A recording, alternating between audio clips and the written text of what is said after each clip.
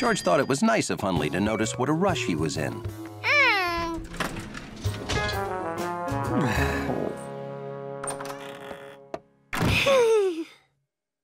George couldn't wait to show off his unmelted trophy.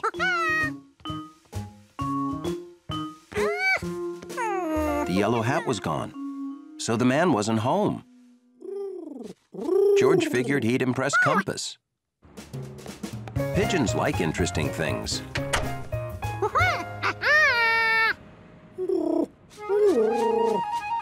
George forgot that pigeons like to land on interesting things.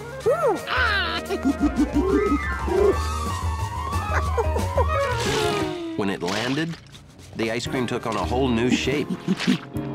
It just kept changing.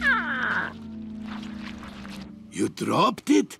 Oh, you can't drop ice cream. It splatters. That's your plate from before. It refroze. I give you a nice new one. Now remember, no sun, no dropping. Just get it home fast. He's got even more ice cream.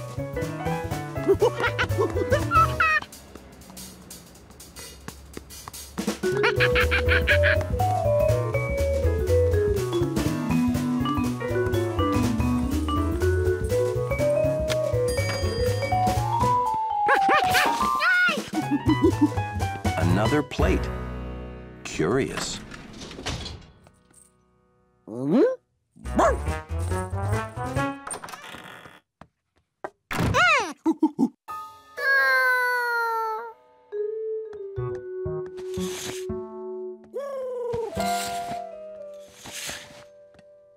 Now there was no sun to melt it. All George had to do was wait for the man with the yellow hat to come home. Lobby leaf. Luckily, George had time to clean it off, so it would be perfect when the man with the yellow hat saw it.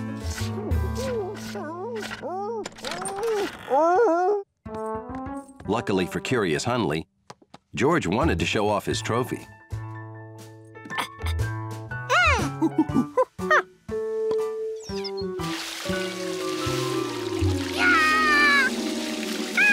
It didn't make sense.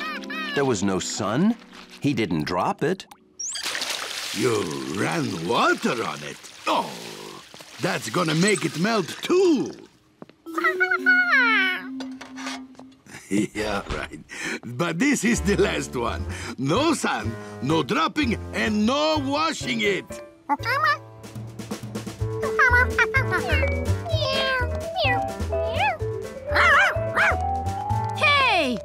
much ice cream can one monkey eat alone? I think he's gonna share this time. On,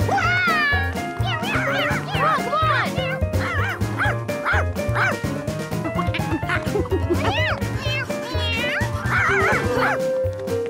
You're sure eating a lot of ice cream, George. Wait up! Oh, it's a party.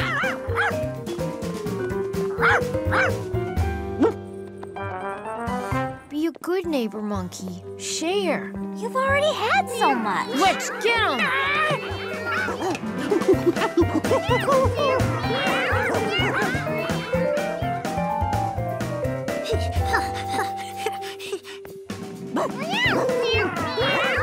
We got him! He's, he's right there!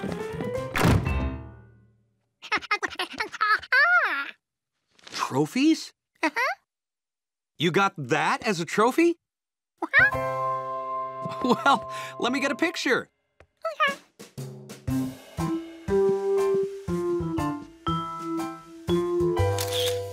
Hmm. Maybe George can't help himself. Maybe monkeys just naturally hoard ice cream.